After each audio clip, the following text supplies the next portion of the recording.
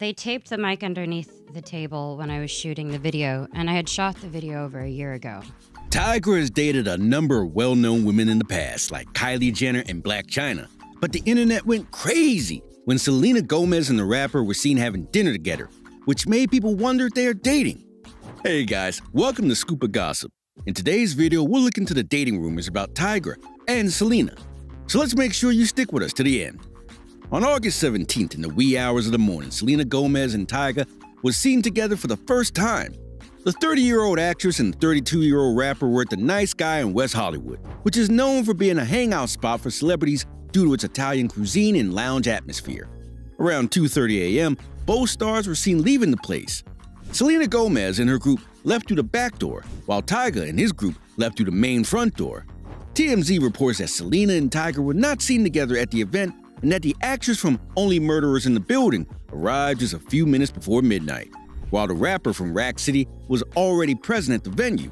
She wore a long flowing black gown, which she accessorized with fuzzy black Louis Vuitton slide sandals.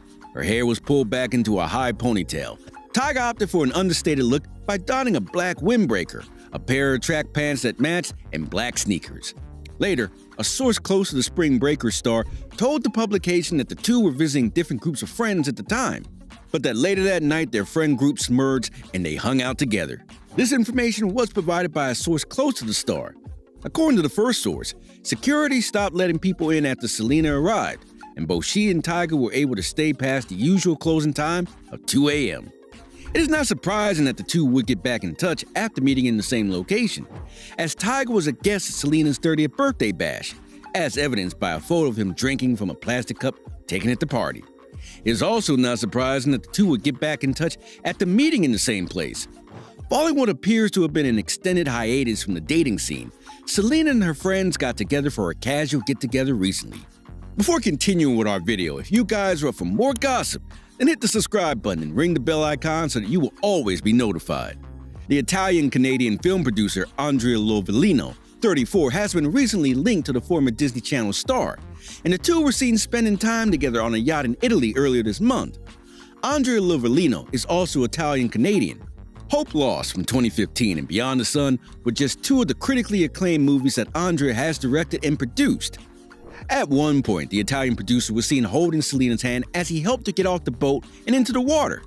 Back then, the photos were the source of gossip that the two were dating. In spite of this, Andrea and Selena were not new friends because they have gotten to know one another through shared experiences in Italy over the past few years. At her birthday party, he was seen standing close to her as she blew out the candles on her cake. On Wednesday, August 17th, a source close to the situation revealed to Us Weekly that Selena and Andre are just friends.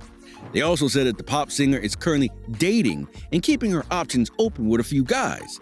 He's got some stuff around his neck. Gosh, look at those diamonds around his neck. Yo, keep it light. Keep it light. Keep it light. something. That's heavy. According to the next statement made by the source, she's really happy and is perfectly okay with being single.